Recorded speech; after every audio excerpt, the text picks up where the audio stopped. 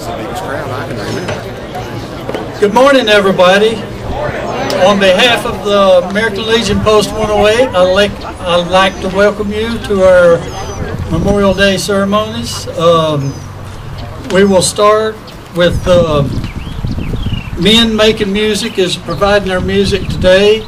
And Tom Fisher is going to come up, uh, the director, and say a few words. And uh, they will have a presentation of our colors.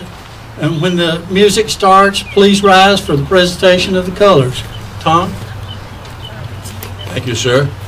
It is meet and right that we as citizens of the United States of America should be here present today to honor those that have passed on to their reward serving our country and those that are still with us, that are our veterans in the Army, the Navy, the Coast Guard, and the military services. We, as far as the men making music, are truly honored to be asked by the military of this town and this county to be able to sing with you and for you this day. Thank you for asking us to be here, and God bless America.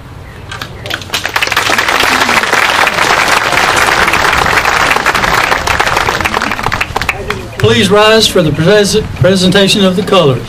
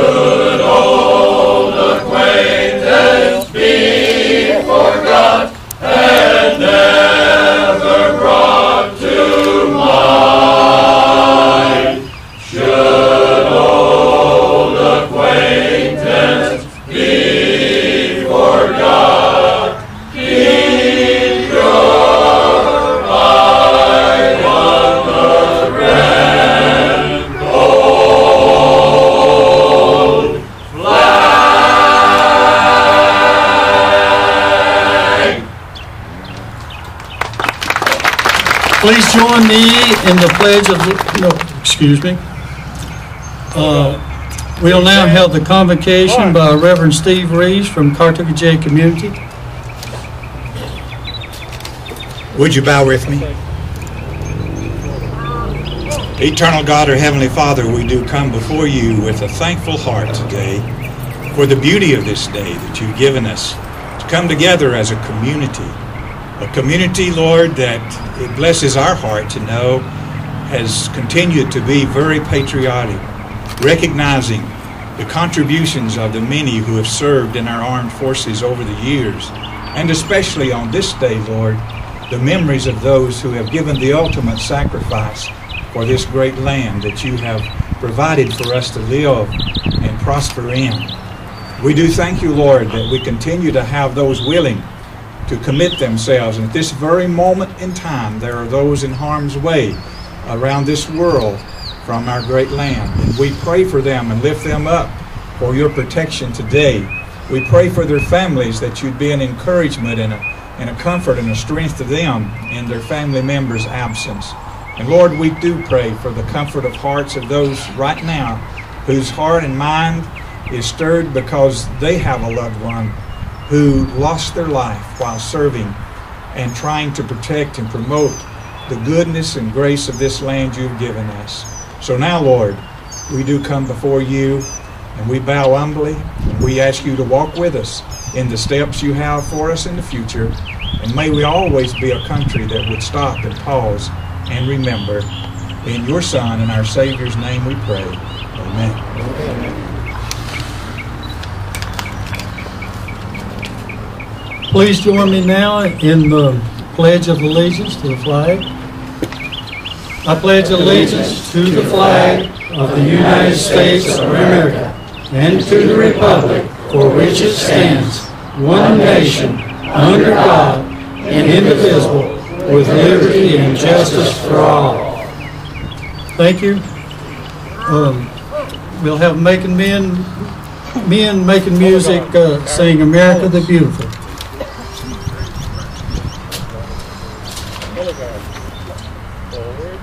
We would like the audience to sing along with us.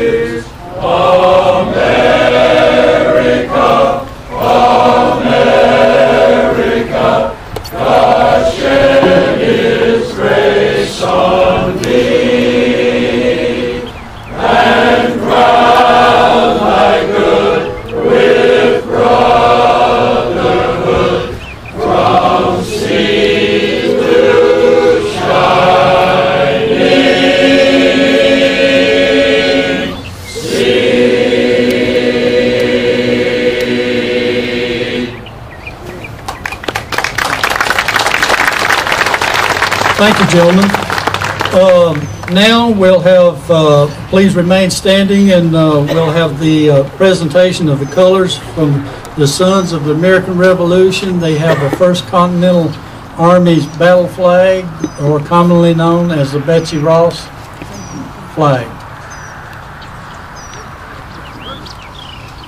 And we'll have some remarks from Tom Long after the colors are posted.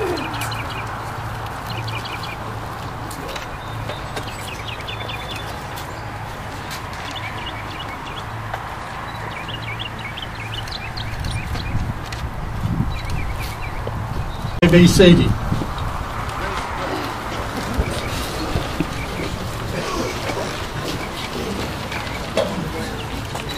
As the commander says, I'm Tom Long from Nantahala. I'm currently president of the six county regional chapter of the Sons of the American Revolution, which meets bi-monthly here in Franklin. My compatriot in the Continental Line uniform of his ancestor is our immediate past president, President Kenton David from Highlands. As best as my research could determine, I'm wearing the dress blue uniform of my patriot ancestor from Halifax County, who served as Commissary General of North Carolina. The Sons of the American Revolution is a lineal male society whose members have traced their, their ancestors back to a revolution patriot. Our pledge at the opening of every meeting is as follows. We descendants of the heroes of the American Revolution, who by their sacrifices established the United States of America, reaffirm our faith in the principles of liberty and our constitutional republic, and solemnly pledge ourselves to defend them against every foe. On this Memorial Day, I want to share with you some of the very first American warriors to sacrifice all for their country. And it was before we had a country.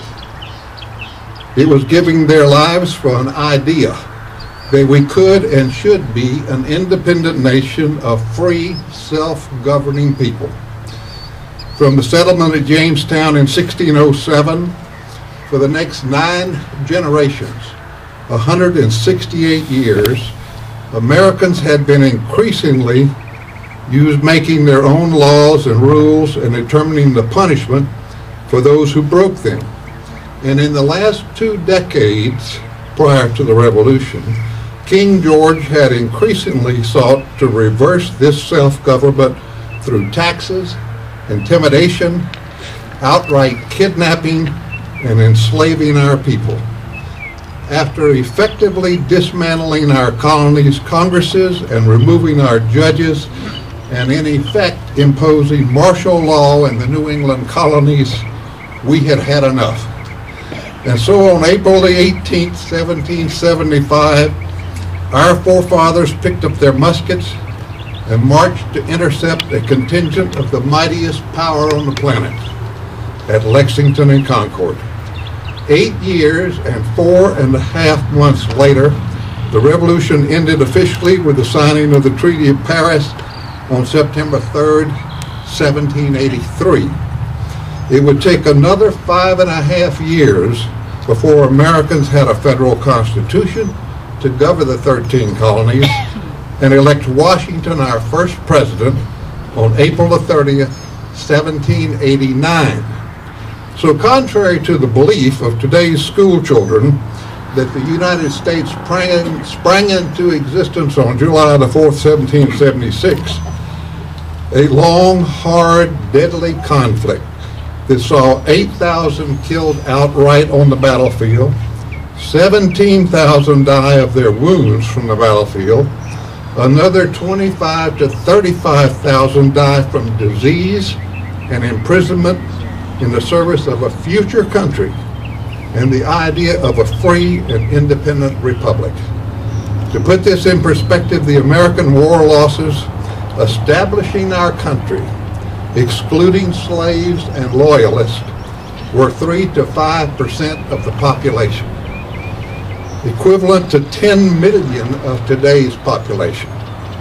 Further, if we take the most conservative estimate of our losses, 50,000, that would be the equivalent of losing 5 million in World War II instead of 350,000. So as we gather today to honor our country's war dead, let us remember those brave patriots who picked up a gun, followed Washington to establish our country over a period of 13 years, nine and a half months. God bless America.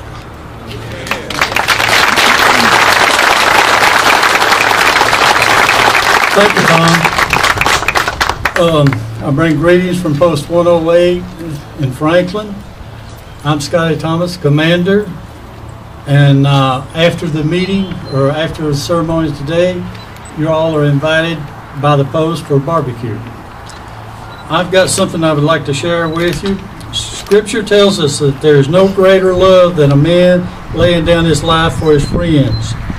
The men and women that we honor and remember today have proven that they are not just friends to us as Americans, but they are friends to the men and women in the countries around the world. One such man, Sergeant William Stacy, epitomised what is meant to be a non-commissioned officer in the United States Marine Corps.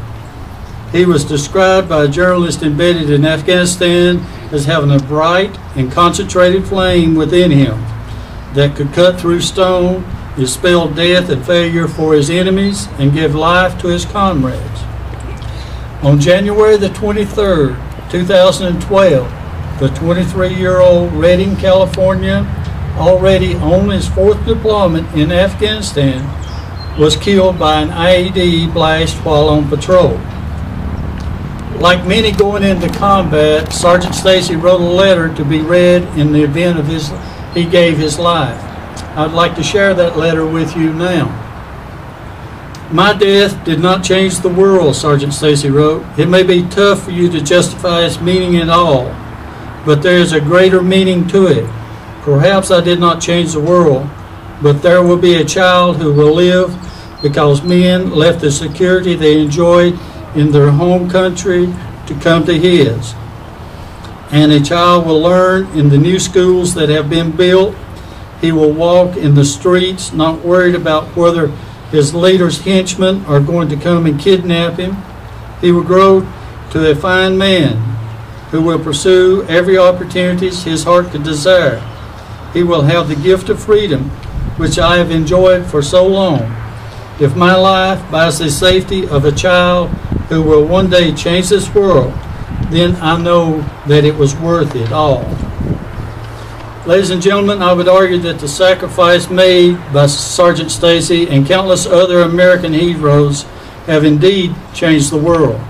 There is a simplistic and naive belief that war does not solve anything. I suppose that's true unless you count winning the American independence, the preservation of the Union, the elimination of slavery, the toppling of fascist and imperialist and terrorist regimes. Americans must remember that freedom isn't free. In fact, it is only possible because our fallen heroes have paid its high price, a price paid which enables us to have ceremonies like this across our great land. Thank you. This time, we'll have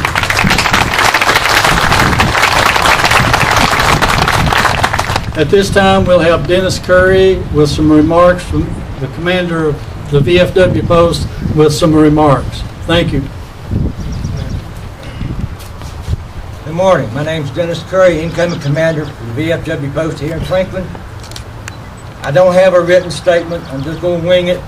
It's good to see all, all of you that's turned out today.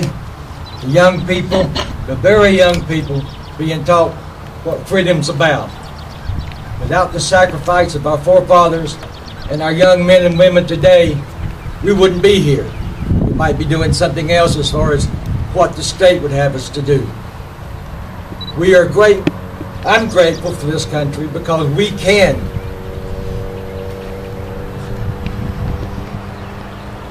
I'm freezing up. We, we can exercise our rights to speak our minds in public or about our elected officials without any problem. We hear people grumbling about what this nation does, and it's this and it's that. They should thank God that they got this nation to live in, because a lot of the rest in the world would not put up with what they complain about.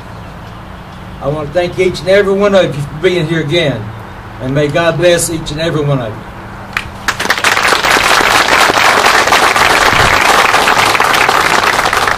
Thank you, Dennis. Now we'll have Frank Cucumber, the commander of the Vietnam Veterans of America.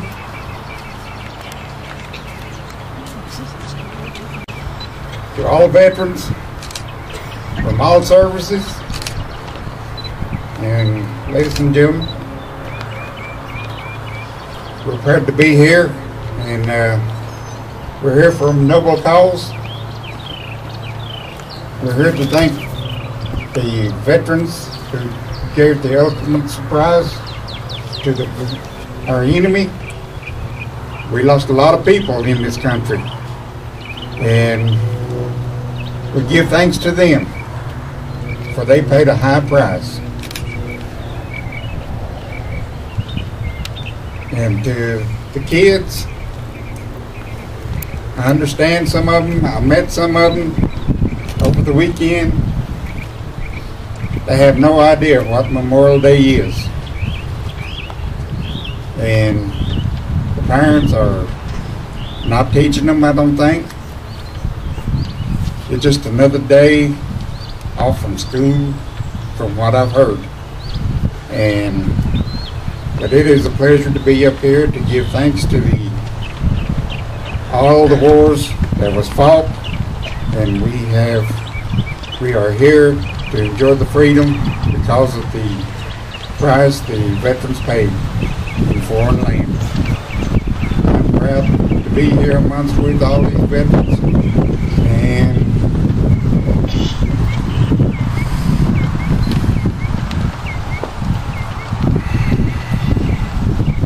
very good to be amongst all the, that we are here to be able to speak out against all the adversaries that we have in this day and time.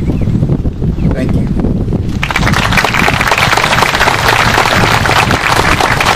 Thank you, Frank. Uh, At this time, we'll have Tom Mintz, Commander of the Marine Corps League, uh, for a few remarks.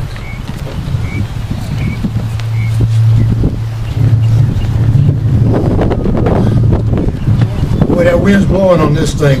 Last year when I came up here and talked, I was the last one, just like I am today, and I had to wing it totally because everybody already talked about what I was going to talk about. But today, uh, I got a, got a few little things here that I can say.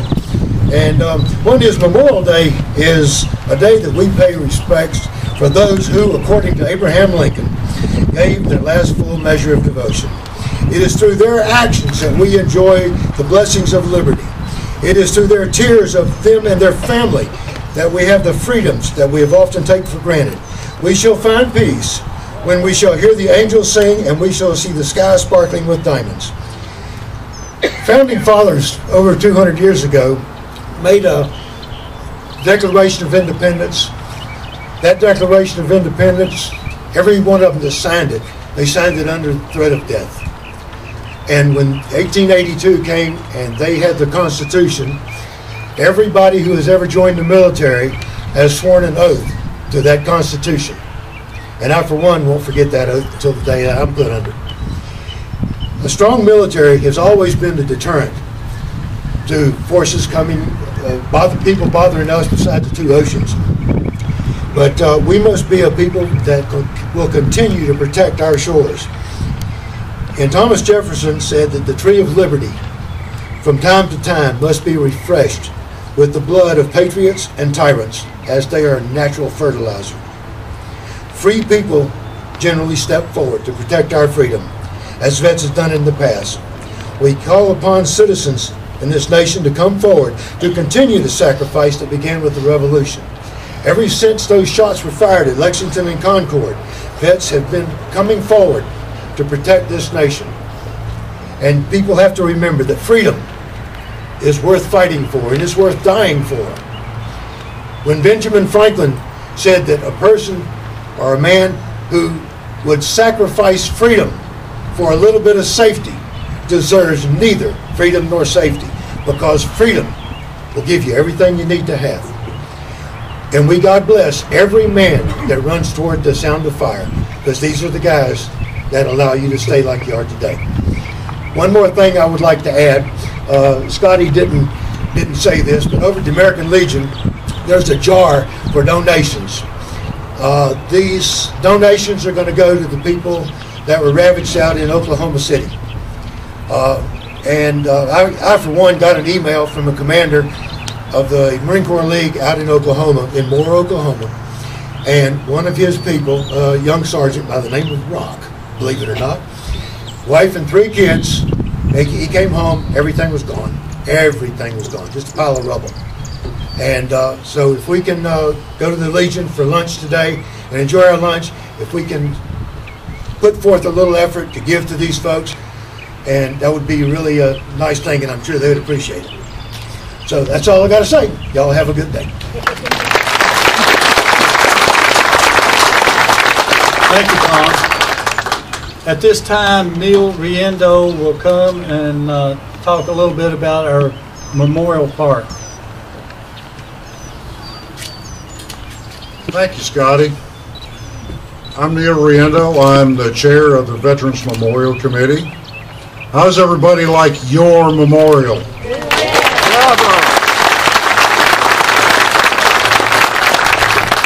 We're proud of it. Uh, today we honor those brave men and women who have given their lives in defense of this country. Part of this memorial is dedicated to these men and women. Down by the timeline of, of wars, you'll see bricks that line the sidewalk down there. These represent folks who died from Macon County in all the wars. Uh, there are folks, including my wife, who believe the sale of bricks was just for veterans who have passed. This is not so. The bricks, like our entrance sign says, are for all veterans. You can honor your veteran living or dead by purchasing a brick to help support your memorial. You can pick up a brick form at the kiosk at the entrance uh, or go online to veteransmemorialmaconcounty.org and it's helped support your memorial and keep it looking good like this. And thank you all for coming and God bless America.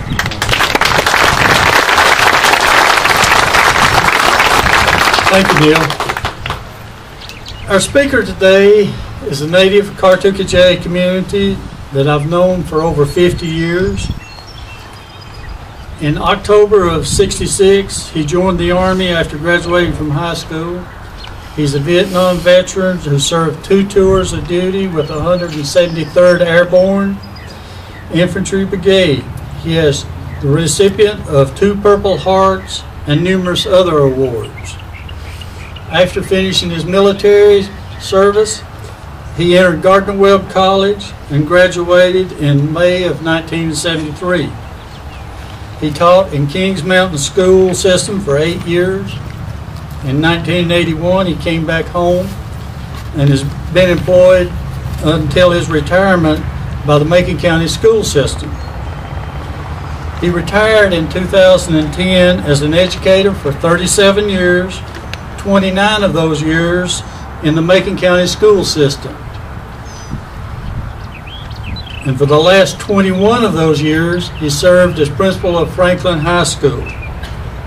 He's presently a member of several organiza- community organizations, among which is our American Legion.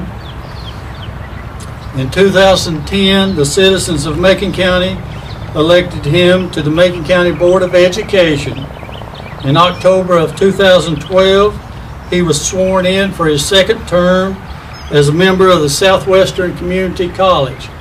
Please join me in welcome Mr. Gary Shields.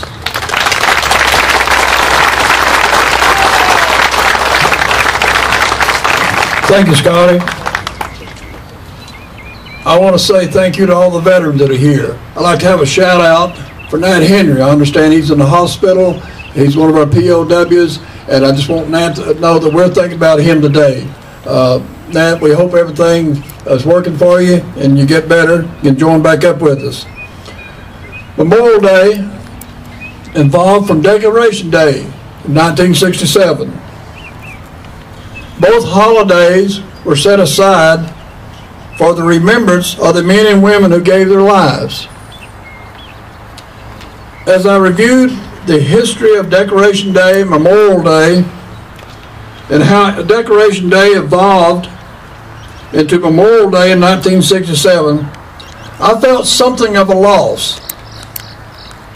I began today in remembering the men and, men and women who gave their lives for this great day. We may be losing that. In 1967, Memorial Day was designated to be celebrated on May the 30th but later was changed to the last Monday in May. I've worked through the name changes and date changes, but what stood out was the Memorial Day's real meaning may be lost by marketing schemes. Promoting the day as a time for celebrating the beginning of summer, promoting the day as a time for celebrating a long weekend, a sporting event, or a big sale. But with all these mixed feelings, we are here for the right reasons. We are here to remember our fellow veterans who gave their all. Then as I thought more about the, the word, Memorial Day, I asked myself, if we were remembering the men and women veterans who died, what did they die for? Then I looked at the word memorial. I brought out the M in memorial. I said the M in memorial stands for the million plus men and women who have died for our country since the Revolutionary War. And trying to find the answer to what did they die for, I thought about my father, who was a rural Baptist minister here, and I reflected back to my youth. I can remember the activities that, that took place on Decoration Day or Memorial Day, usually on the Sundays, when the cemeteries were blessed and the graves were decorated and flowers and waving flags were abundant. Families and friends rekindled old friendship. As a youngster, one could walk among the dead and read the inscriptions.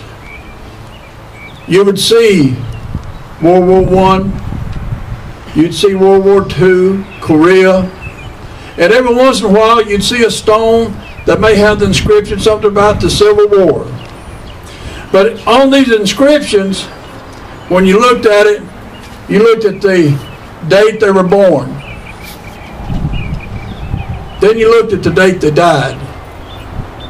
And a lot of times, they were late teens, early 20s, or late 20s. They'd served their country, and now they were there in the cemetery. As I listened and looked around, you could sense and see that the deaths of former veterans had a lasting effect, not only for the families, but for the community. A void was obvious. Then I looked at the word E in memorial. E stands for eternity. I used to try to wrap my thinking around this word eternity. I remember as a child, I'd lay, in, lay down in my front yard and look up in the sky and look at the clouds. I could kind of see that distance. But when I looked beyond the clouds into that blue space, I couldn't, I couldn't comprehend it.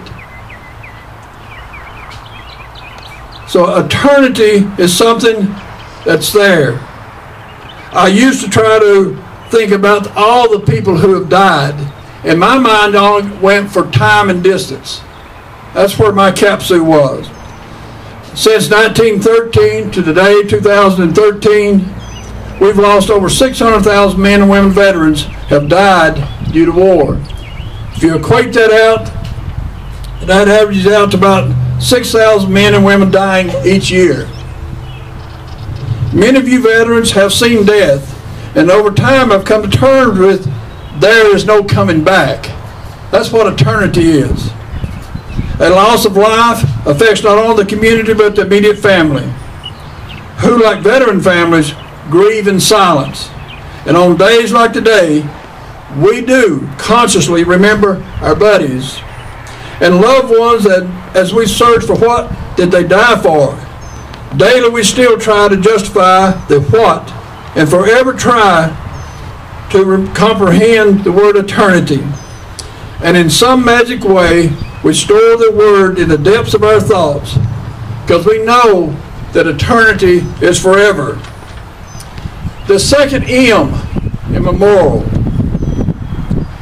Many of us, prior to our military service, had not interacted with people of the minority race. I'm going to say of color.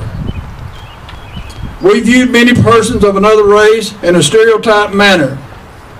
As we viewed many persons of another race, we, we evolved. The military experience allowed us to evolve as team members. And that a team did not come in one color, and today, one gender. We all have our cultural experiences, and the military allowed many of us to evolve beyond color barriers.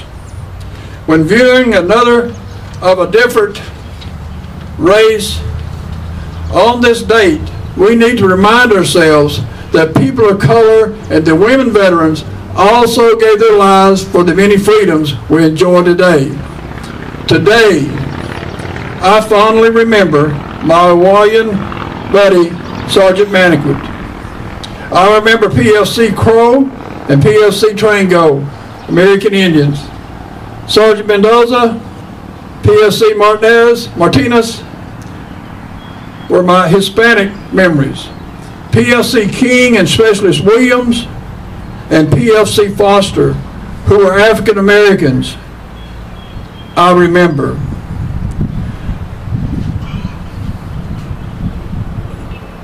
seeing the, the, the, the one person that I remember most is the burned image I have, and he was carried before me, and I asked the medic, is he okay? And the medic said, he's dead. The burned image I have as he was carried before me was seeing his name label on his shirt. When one was new in country, you were issued a pair of pants and a shirt with the name label. After days in the field, your pants and shirts lose all of its identities of name and rank. But seeing that name label, Foster, I still see it today. That's what haunts me. The most is a short time he had been in country because his name label was still intact. And so few of us knew him. So for me, today is a remembrance of Foster and all the other Fosters. The O in memorial stands for one. In our Pledge of Allegiance today, we said one nation under God, indivisible, with liberty and justice for all. The R in memorial stands for rights. The Bill of Rights. They were part of the Constitution, and it allowed us to have the freedoms of religion, or speech, or press, right to assemble peacefully, petition the government. All of these were as part of our Bill of Rights. But most of all, in our amendments today, is the right to vote. The right for all of us to be able to vote. Then in, then in 1789, the Constitution of the United States was ratified, and this document was the supreme law of the land. You have to understand this. The Constitution was our governing board. But then again, the I in memorial stands for independence.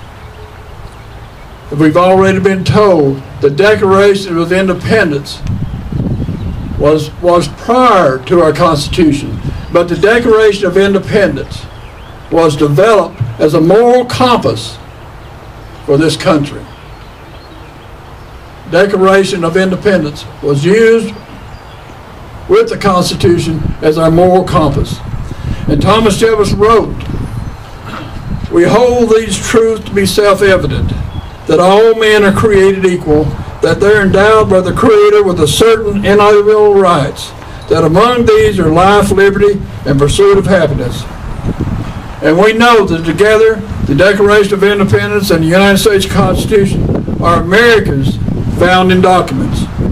The Constitution is the supreme law of the land, and the Declaration of Independence is the moral compass for the formation of our Constitution with our unalienable rights. The A in memorial stands for all.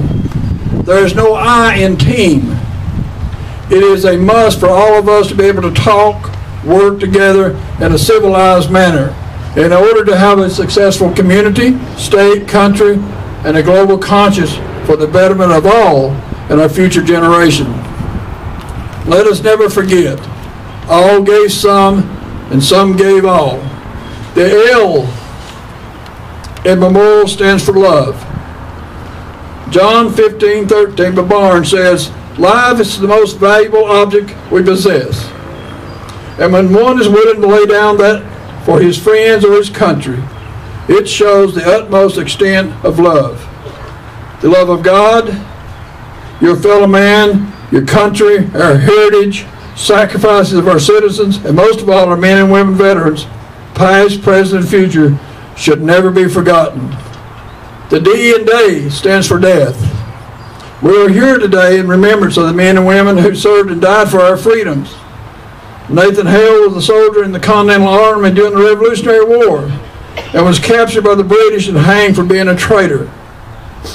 History reports that his last words were, I only regret that I have but one life to give for my country.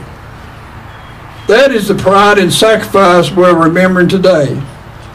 The A in day stands for American. It is time for us to reconfirm our belief in America.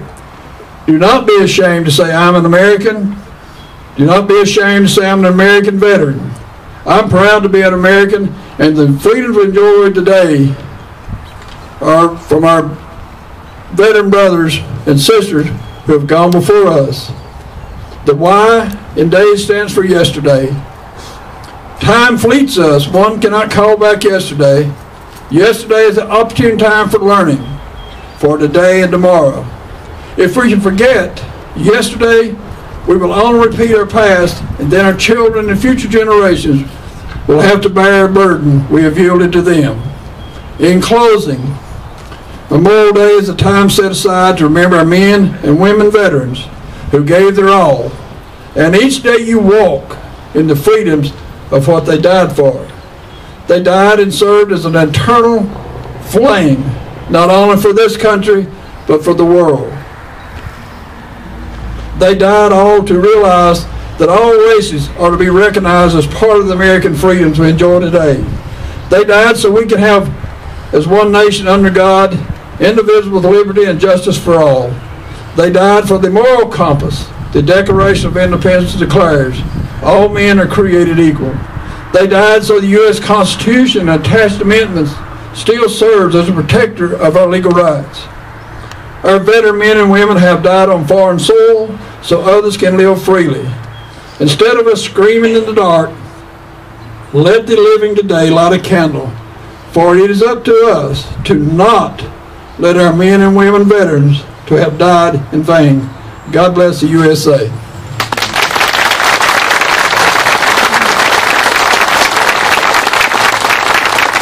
Thank you, Mr. Shields.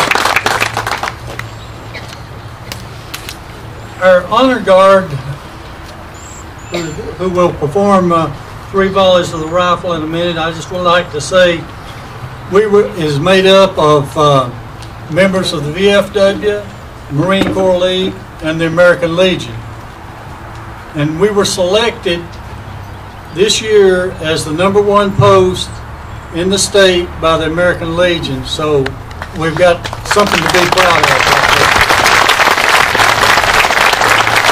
But, uh, We'll have three volleys of the rifle for our fallen comrades and the playing of taps. Commander, verify, give us three volleys of the rifle for our fallen comrades.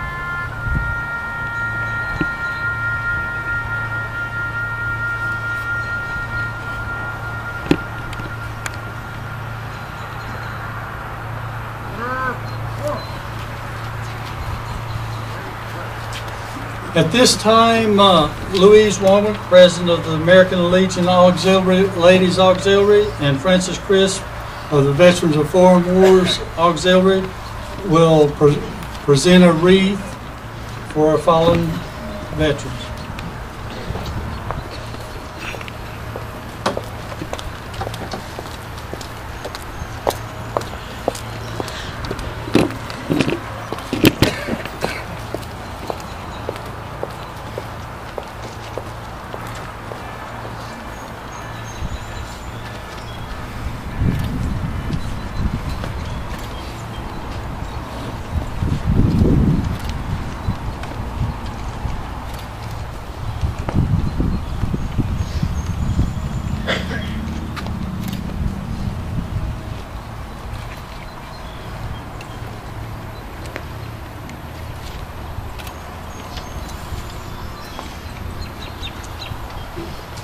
Thank you, ladies.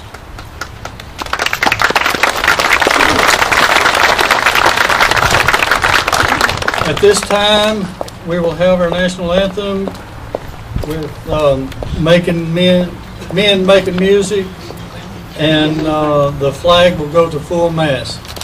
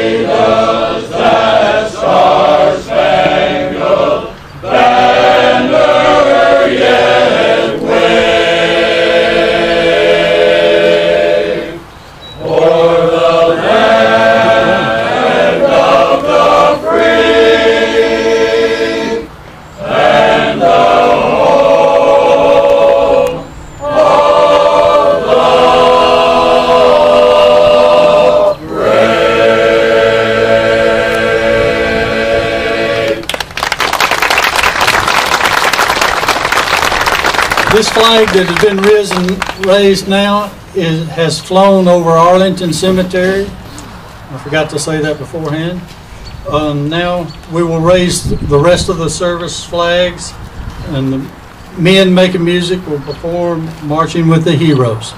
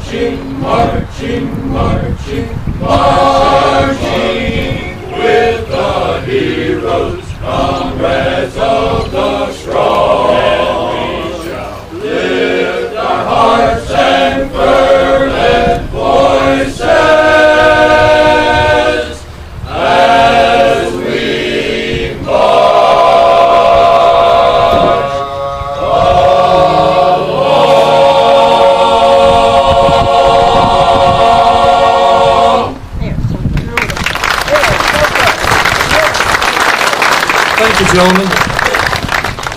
That concludes our ceremonies today. Please join us over at the post for a free barbecue lunch. Thank you.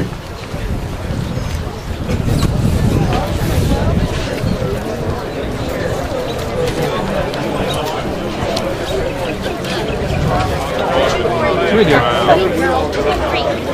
We will one day. Two weeks will line up.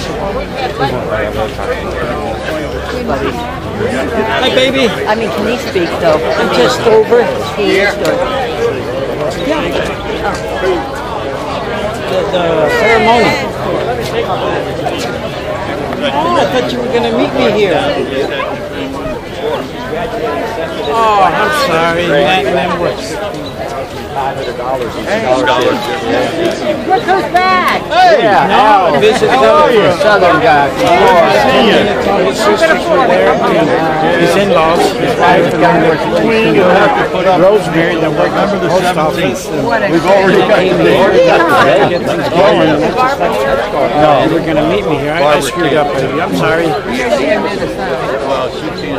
Oh, okay, so just meet me at the... Other than me.